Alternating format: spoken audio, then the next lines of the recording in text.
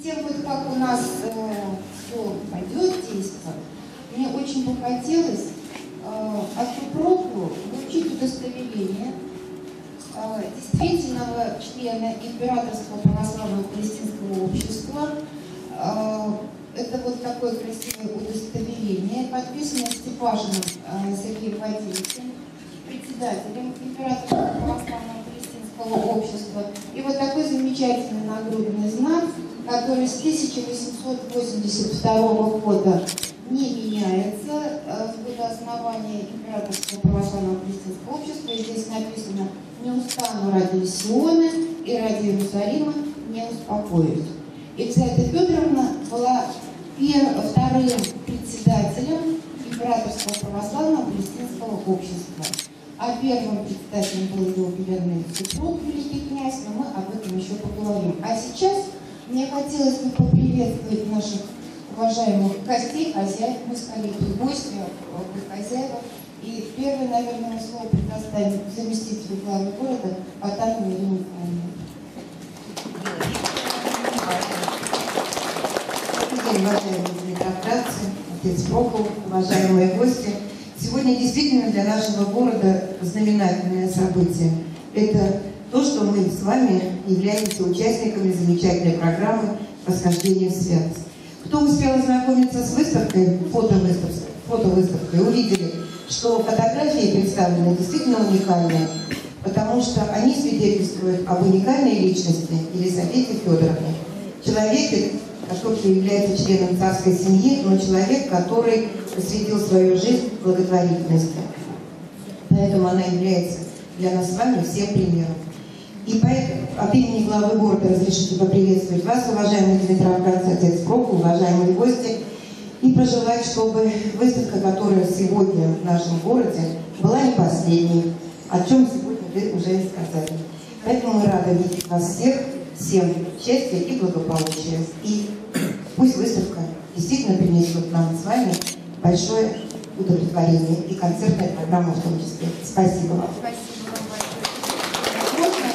Можно вот для города Николая Анатольевича, это как раз э, действительный член Императорского православного общества, э, член Совета православного императорского общества Николай Николаевич Весовой, сделал замечательный путеводитель по Святой Земле, истории и наследия. И это со смыслом, конечно, подарок, а, потому что тот, кто не был там, должен обязательно побывать.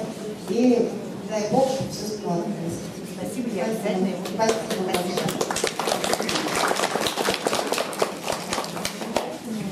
Да, и сейчас я хочу передать слово э, главе Якутского района Ильясу Никитиновичу. Добрый день, уважаемые друзья, уважаемые отцы священнослужители. Позвольте мне от имени администрации Великирского района сердечно приветствовать участников сегодняшнего праздника. Сегодня действительно, очень, э, я считаю, большой праздник для, не только для православных, но и для всего населения э, Димитрограда и Меликинского района, поскольку мы, вот участвуя сегодня в этой выставке, все больше и больше узнаем э, о тех наших о жизни сегодня, узнаем о жизни Елизаветы Федоровны. Возможно, в годы советской власти мы э, не знали или нам преподносили совершенно другую сторону. Сегодня мы познаем о том человеке, который пришла к нам, в Россию, из далекой, по-моему, она немка по национальности, приняла православие и до, и до, последних минут, до последних минут своей жизни посвятила себя э, именно России. Именно с ее, э, с ее помощью было создано православное э, палестинское общество, которое оказывало очень большую благотворительную помощь. Она очень серьезно заботилась о своем населении, о государстве, о людях, о бедных. Поэтому, я думаю, сегодняшняя выставка и сегодняшняя наша встреча позволят нам еще больше, еще глубже узнать о жизни об этой, этой, этой святой. Ну и хочу сказать о том, что сегодня, э, пользуясь моментом, здесь присутствует очень много наших священнослужителей. Э, Сегодня православный храм православия оказывает очень много тоже благотворительную помощь. и нашему населению, ведут большую просветительскую работу. Поэтому, пользуясь моментом, уважаемые отцы священнослужители, Прохор и владыки, я хочу э, вас поблагодарить за вашу работу. Всем вам желаю здоровья, счастья, благополучия, добра. С праздником вас! Также от лица студентов выступит глава филиала университета МИФИ и поприветствует вас. Она, Иван Анатольевич Стаганов. Уважаемые, уважаемые друзья, уважаемые дорогие дети. Сегодня замечательный действительно праздник. И я от имени э, нашего большого коллектива, студентов института, института инженерно-технологического национального ядерного материала МИФИ, приветствую вас на этом замечательном событии. Вот совсем недавно мы могли увидеть то, что не дают э, не все города имеют возможность и жители нашей страны увидеть. Мы здесь познакомились с фотовыставкой, посвященной нашему патриарху, патриарху Московскому Миссарию. Она делалась достаточно долго, до 10 января, и много наших жителей, студентов сумели познакомиться с жизнью нашего святого патриарха. Сегодня мы имеем возможность, вот до 17 числа мы только узнали, возможность познакомиться с фотовыставкой, посвященной Елизавете книги. Я хотел бы, чтобы только доброе, светлое мы получили это общение друг с другом, посмотрели то, что здесь представлено на выставке.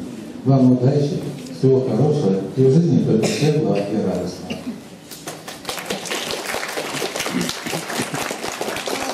А, Вот позвольте вам э, на память такие маленькие сувениры. Это э, императорское общество сдало э, такой м, календарь, посвященный именно Елизавете Федоровне Алексеевичу. А это дворцы Южного берега Крыма, э, очень уважаемый член нашего общества. Э, Он и народный художник России, и м, почетный профессор Академии ФСБ, и крупный ученый, как раз по вашей части, э, Никонов э, Владимир Глебович, вот он как художник э, издал так- такой календарь. Очень рада, что вы здесь. И, да, Спасибо вам. Как я обещал, сейчас хочу зачитать обращение Владыки ко всем присутствующим здесь.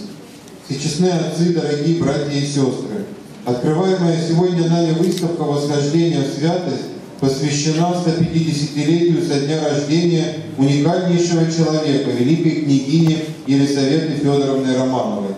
Принцесса, великая княгиня российская, российского императорского дома, после трагической гибели своего супруга от рук террориста последовала призыву Христа и в прямом смысле слова раздала все имение свое нуждающимся и посвятила свою жизнь служению Богу, заслужив огромную известность своими делами милосердия и благочестия. Она не гнушалась лично ходить на, Петров, на Петровку, самое криминальное место Москвы той эпохи, и забирать оттуда сирот, трудилась на- наравне с сестрами основанной ей Марфа-Мариинской обители. Ночами ухаживала за тяжелобольными пациентами, во время Первой мировой войны активно занималась помощью раненым, в том числе и пленным солдатам противника. Великая княгиня является собой пример всем нам. В тяжелые для своей страны времена и во время личной трагедии она не, не закрылась от мира, не впала в уныние. Откликнувшись на призыв Господа, последовала Его Слову и жизнью своей показала, что такое христианство.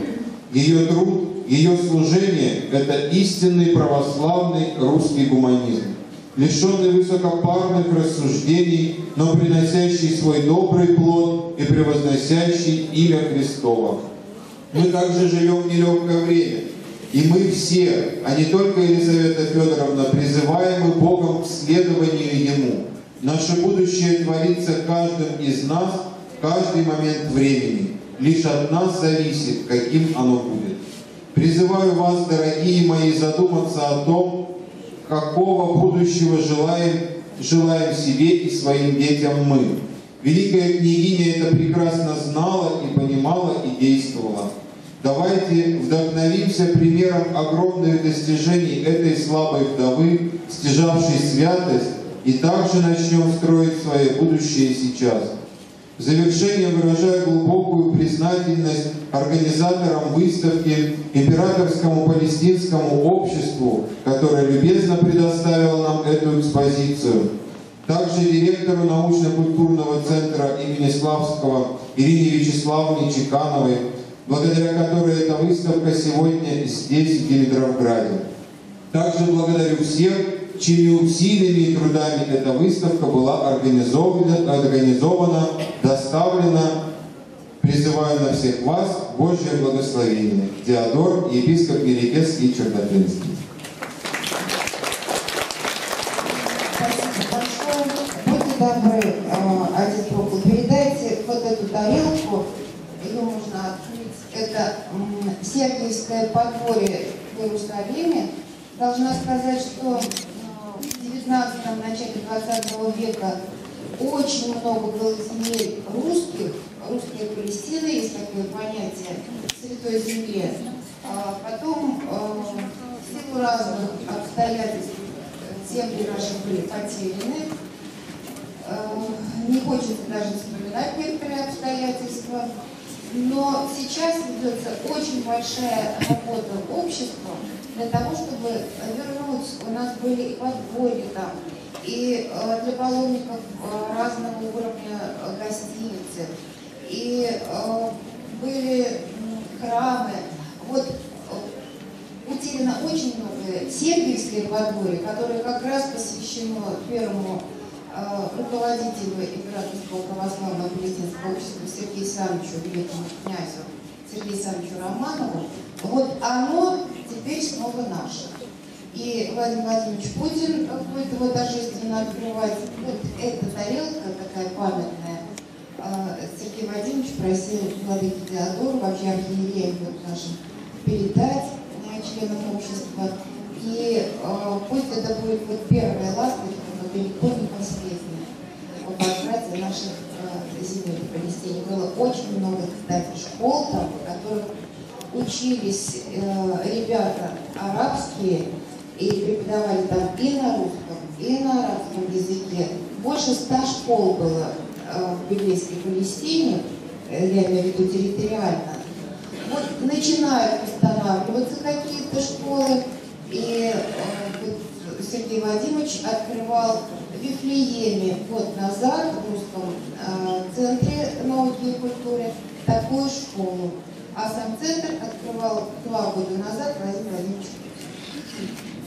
Спасибо большое. Хотелось бы сделать эм, такую информационную заметку, что Владыка Диодор тоже является членом Палестинского православного общества.